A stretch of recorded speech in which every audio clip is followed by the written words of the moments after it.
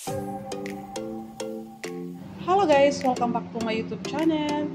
Ako nga pala si AmTV. Kung bago po sa aking YouTube, please subscribe and like and share and hit the notification bell para lagi kayong updated sa ating new video. So ayun guys, magluluto tayo ng sinigang. Meron po akong fresh. Ito po yung sampunya. Bigay sa kabilang bahay. So gagawin ko po ng sinigang. Okay? Ayan. Yan po ang kaya ko. Ilay na po yung ingredients ko. Kasi guys walang luya kung ano makikita sa rep sa kabilang bahay so nakalimutan ko rin kung paano luya so ito lang po ang mga okay? Ito guys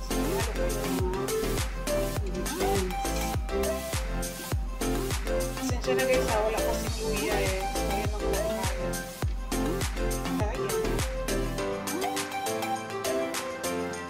wala itang lad. So ito dahil aking simple sinigang. So. So bubukanin ko siya. Takpan. Ko siya. Lagyan ko siya ng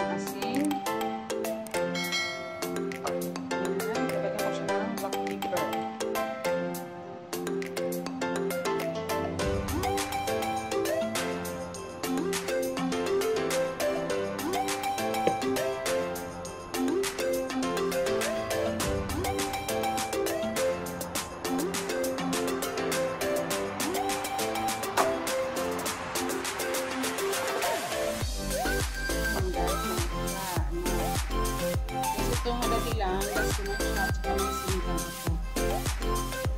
Yun guys, nilagyan ko na po siya ng black pepper and salt.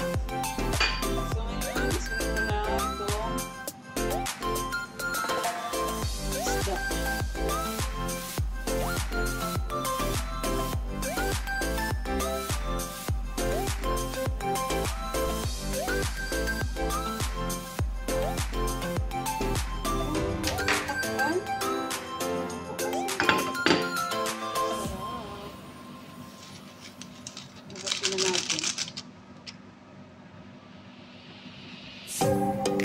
guys, sinuli ko na yung isda dahil ang isda ay madali lang matuto.